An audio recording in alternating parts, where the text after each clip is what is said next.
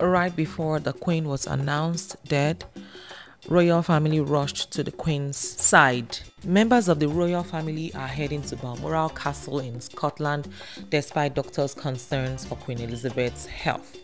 Now, Buckingham Palace said in a statement on Thursday morning, following further evaluation, um, that the Queen's doctors are concerned for Her Majesty's health and have recommended that she remain under medical supervision.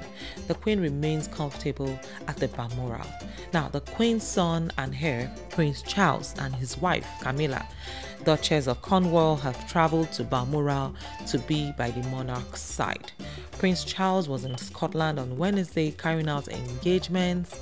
Prince William, who is second in line to the throne, is also heading to the Balmoral.